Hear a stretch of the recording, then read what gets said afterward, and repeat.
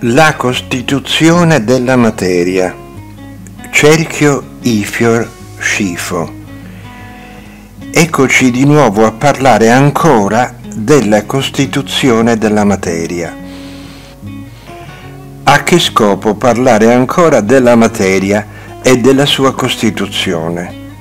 Allo scopo di farvi comprendere con un esempio, nel miglior modo possibile, una volta per tutte, dove sono situati i vari piani di esistenza, affinché quando vi diciamo dei piani spirituali, voi non guardiate in su o del piano astrale, voi non guardiate in giù e via e via e via. Prendiamo per fare questo degli esempi che tenete presente però sono soltanto delle rappresentazioni logiche, simboliche, figurative, usate più che altro per farvi comprendere.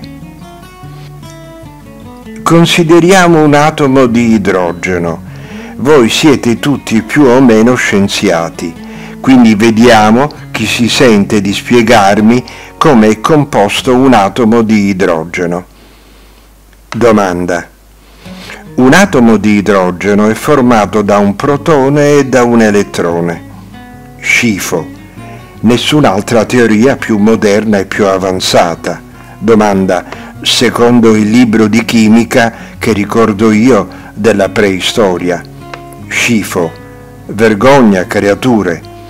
In fondo l'idrogeno è un po' anche la base della vostra possibilità di esistenza. Comunque, semplifichiamo la cosa al massimo.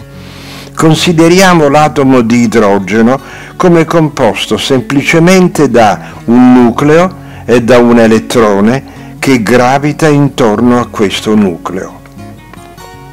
Ora, se voi foste così piccoli da poter stare in piedi sul nucleo dell'idrogeno, guardando in alto, vedreste una luna che periodicamente vi passa sopra la testa.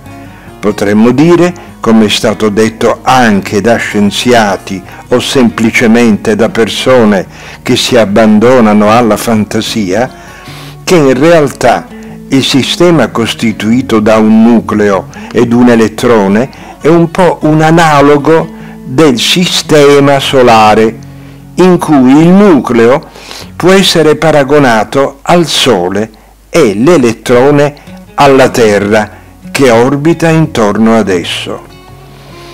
Questo più che altro per farvi comprendere che la distanza tra nucleo ed elettrone dell'idrogeno, paragonata all'infinitamente piccolo, è assimilabile alla distanza astronomica che vi è tra il Sole e la Terra, quindi una distanza enorme non piccola come quella che si osserva dal vostro punto di vista, ossia attraverso i vostri sensi percettivi, i quali, guardando dell'acqua o del ghiaccio, vedono la materia come se fosse unita e quindi senza spazio in mezzo.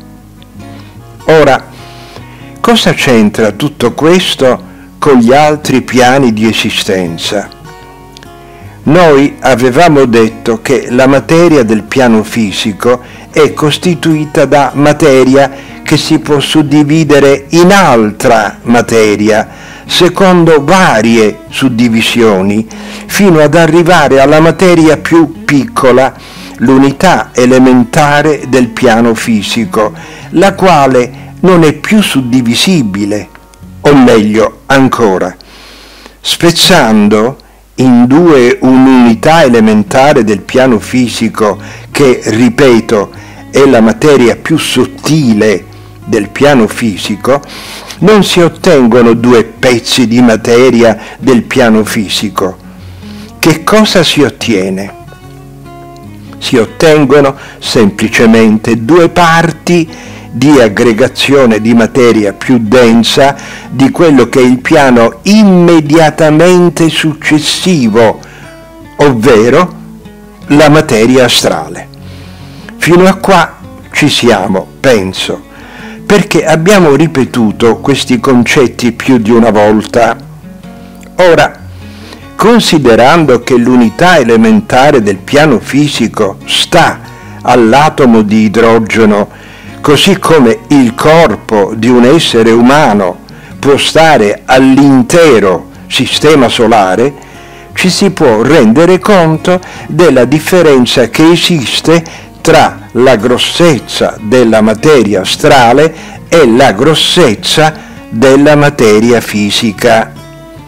Là dove stanno due atomi di idrogeno sta un'infinità di materia astrale e questa materia non è né sopra né sotto né a destra né a sinistra dell'atomo di idrogeno. Esiste invece in quello spazio tra elettrone e protone, tra elettrone e nucleo, che noi avevamo considerato all'inizio.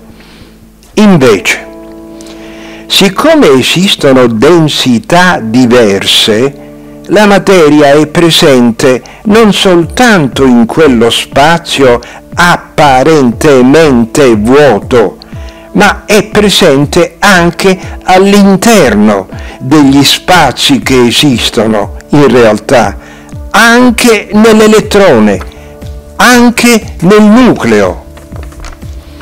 Quindi la materia astrale non è situata in nessun punto strano del conosciuto, della realtà, dell'universo, ma è semplicemente interna facente parte della stessa materia fisica.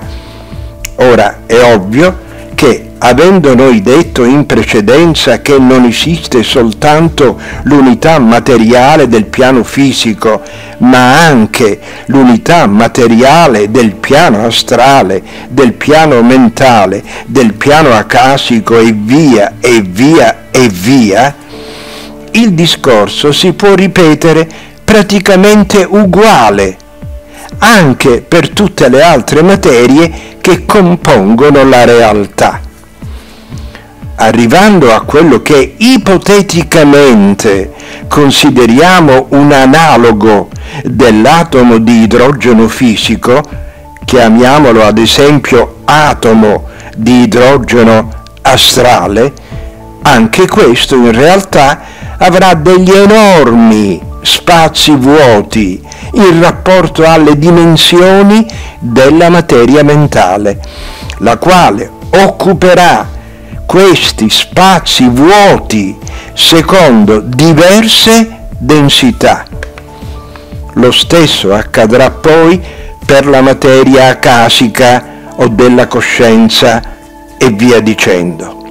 Quindi tutta la realtà si compenetra tutti i vari corpi e i vari piani di esistenza si compenetrano, riducendosi le dimensioni delle unità materiali fino a un limite di frantumazione tale che difficilmente potreste arrivare a comprendere.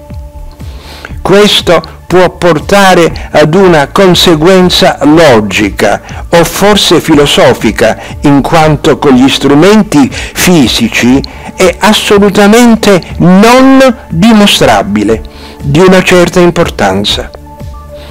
Pensate, se già arrivando solo alla materia del piano astrale si comprende quanta diversità di grandezza vi sia tra la materia astrale e la materia fisica, pensate come deve essere sottile la materia nel sesto piano di esistenza in rapporto a quella che è la materia fisica.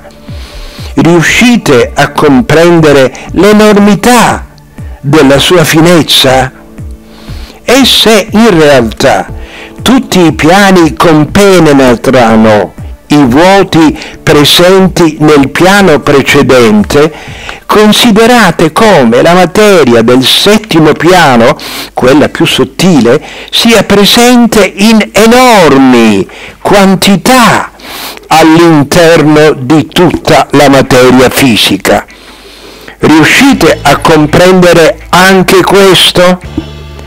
E se riuscite a comprendere questo, qual è il passo successivo se non comprendere che Dio, che è la materia più sottile di tutte, in realtà compenetra veramente tutto il creato?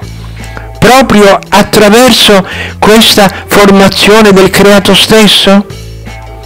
Ma su questo parleremo senza dubbio ancora in seguito, perché è una conseguenza logica non indifferente.